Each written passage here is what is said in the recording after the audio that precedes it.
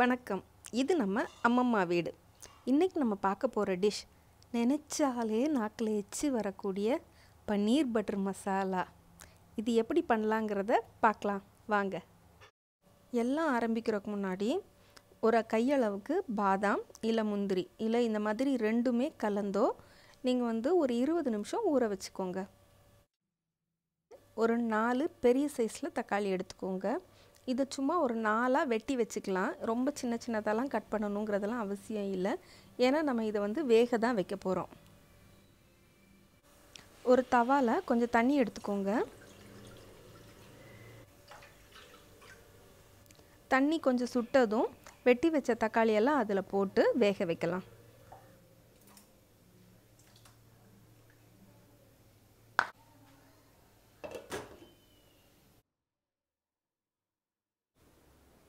இப்போ தக்காளி நல்லா வெந்துருச்சுங்க.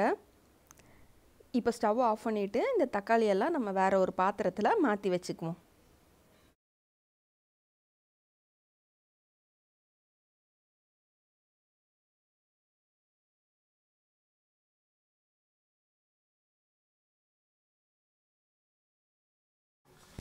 இப்போது தக்காளியோட மேல் தோலை மட்டும் நம்ம எடுக்க போகிறோம் ஏற்கனவே அது நல்லா வெந்திருக்கிறதுனால அந்த தோல் வந்து ஈஸியாக வந்துடும்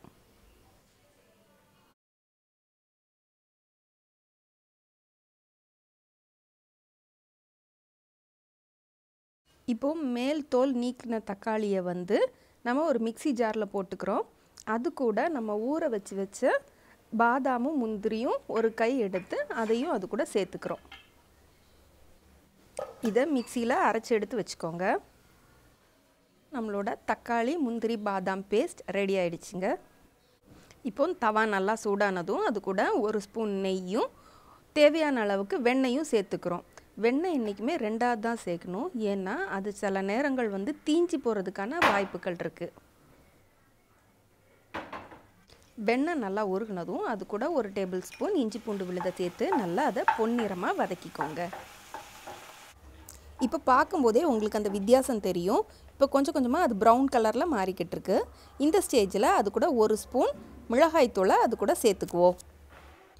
ஒரு ஒரு நிமிஷம் இந்த மாதிரி நம்ம அதை வதக்கிக்கலாம். இப்போ வெண்ணையும் மிளகாத்தூளும் கலந்து எப்படி இருக்குது பாருங்கள் இப்போ இந்த கலவை கூட நம்ம அரைச்சி வச்ச தக்காளி கேஷு பாதாம் பேஸ்ட்டை இது கூட ஊற்றிக்கலாம் இப்போது மிக்சி கழுவி அந்த தண்ணியும் இது கூட சேர்த்து எல்லாத்தையும் நல்லா கலந்துக்கோங்க.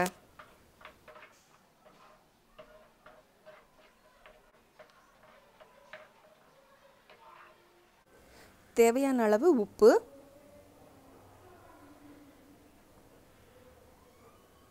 ஒரு அரை டீஸ்பூன் சீனி எல்லாம் சேர்த்து ஒன்றா கலந்து அதை மூடி வச்சுருங்க. இப்போ இது நல்லா கொதிச்சிடுச்சு. இப்போ ஓரங்கள்லாம் எண்ணெய் வர ஆரம்பிச்சிச்சு பாருங்கள் இதுக்கப்புறம் நம்ம பன்னீரை சேர்த்துக்கலாம்.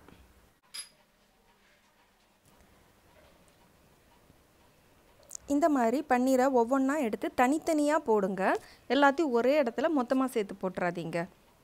பன்னீரை ஃப்ரை பண்ணி போடணும்னு நினைக்கிறவங்க ஃப்ரை பண்ணி கூட போட்டுக்கலாம். ஆனால் இந்த மாதிரி சேர்க்கும்போது பன்னீர் வந்து நல்ல சாஃப்டாக இருக்கும் சாப்பிட்றதுக்கு. இப்போ பன்னீரையும் அந்த கிரேவியையும் மெதுவாக பொறுமையாக பார்த்து ஒன்றோட ஒன்று மிக்ஸ் பண்ணிவிட்டு அதை ஒரு பத்துலேருந்து பதினஞ்சு நிமிஷம் மூடி வைப்போம். அப்போ தான் பன்னீருக்குள்ளே அந்த கிரேவியோட எசன்ஸ் போக ஆரம்பிக்கும்.